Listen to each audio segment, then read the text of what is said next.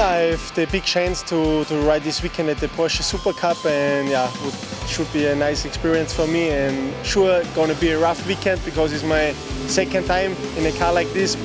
The first time was in Barcelona, we have a weekend of, of testing and that was quite a nice experience and is yeah, is is not even a little bit similar that what I do normal, riding on, on, on two wheels. Normally my, my, my favorite kind of terrain shoe is gravel or more sand.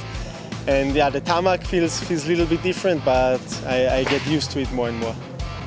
The most impressive, the braking point, because you brake so late and, and then when you turn into the corner, you can turn quite fast because normally at this point you have a lot of weight on the front wheel. With the, with the motorcycle, you're a little bit scared, but with the car, it, it turns so fast in and it's a little bit strange for my head, but I get step by step faster.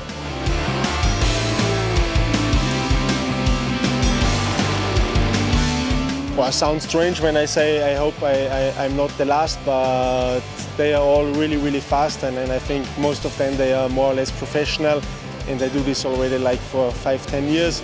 So I enjoy it. I hope I, I destroy nothing, and, and if I don't see the finish flag at last, then it's all good for me.